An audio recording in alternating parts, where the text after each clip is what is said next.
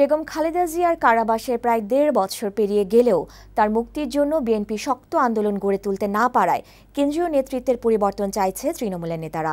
তাদের অভিযোগ, সদিচ্ছা ও কেন্দ্রীয় নেতাদের সমন্বয়হীনতার কারণেই কঠোর কর্মসূচি নিয়ে দল রাজপথে নামতে পারছে না। দায় স্বীকার করে কেন্দ্রীয় নেতারা বলছেন, ব্যর্থতা কাটিয়ে চেয়ারপারসনের মুক্তির জন্য কঠোর আন্দোলনের পরিকল্পনা করছে বিএনপি। বিউটি সমাদারের প্রতিবেদন।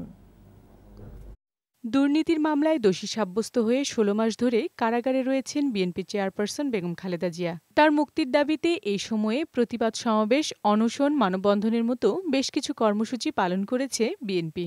তবে জোরদার কোনো আন্দোলন গড়ে না ওঠায় দলের কেন্দ্রীয় থেকে শুরু করে তৃণমূল পর্যায়ের নেতাদের মধ্যে অসন্তোষ দানা বেঁধেছে। এরই মধ্যে চেয়ারপারসনকে কারাগারে রেখে নির্বাচনে অংশ নেয়া এবং পরে নির্বাচন প্রত্যাখ্যান করেও সেই সংসদের শপথ নেয়াকে কেন্দ্র করে দলের মধ্যে বিভেদ দেখা দিয়েছে। কেন্দ্রীয় নেতাদের এই বিভেদকেই চেয়ারপারসনের মুক্তির আন্দোলনের বড় অন্তরায় বলে মনে করেন তৃণমূলের নেতারা। তারা বলছেন হামলা মামলা সহ্য করে তৃণমূলের নেতারা ঐক্যবদ্ধ থাকলেও আন্দোলন সংগ্রামে সিনিয়র নেতাদের সেভাবে পাশে পাওয়া যায় না। খালেদা জিয়ার মুক্তির আন্দোলনে আরও কঠোর কর্মসূচি চান তারা। আমরা ওনাদেরকে রাস্তায় চাই। ওনাদের সাথে আমরা একসাথে রাস্তায় নেমে এই সরকারের পতন করব। নেতা কর্মীদের পিঠ দেয়ালে ঠেকে গিয়েছে। এবারে নেতৃত্ব যদি ভুল করে কর্মীরা ভুল করবে না। ব্যর্থতার দায় স্বীকার করে দলের কেন্দ্রীয় নেতারা বলছেন সংকট কাটিয়ে ওঠার চেষ্টা চলছে।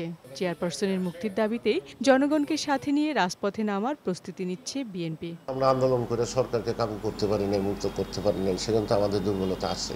আর ব্যর্থতা না থাকলেও আমাদের যে সফলতা নাই আন্দোলনে এটা তো সত্য। আমরা আমাদের দলটিকে একটু গুছিয়ে নিতে চাই। বিশেষ করে আন্দোলনের রাজপথে যারা থাকবে তাদেরকে গুছিয়ে নেবার জন্য আমরা একটু সময় নিচ্ছি। আন্দোলন সফল করতে দলের সকল অসঙ্গতি চিহ্নিত করে তা দূর করা হবে বলেও জানান বিএনপির সিনিয়র নেতারা।